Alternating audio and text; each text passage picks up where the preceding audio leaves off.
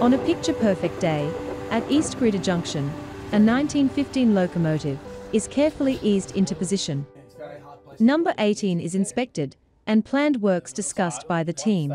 Maybe even give the straps here a bit of a clean up if we leave all that oily residue and we try to move it. Steam locos have many connected parts and vital fittings. All require careful attention. The way we work is that every bolt has to go back in the same hole it came from. And the nuts go on the same threads that they came off of in case the threads are stretched and they have to go on the same way that they came off. Spring and rail clearances are checked. The rear two driving axles, these have underslung springs, which means that they're hanging under the axle. These are quite close to the rail, so the clearance under here to the rail is um, obviously above the minimum, but it's quite close. A clever compensating system improves ride quality on uneven track.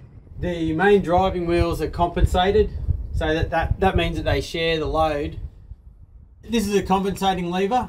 As the locomotive wheels go up and down with an uneven track, this compensating beam will seesaw like that and allow one wheel to go up and allow the other wheel to go down. To learn more about this important project to preserve working railway history and to help light the fire once more in number 18, please visit 10classlocos.com.au.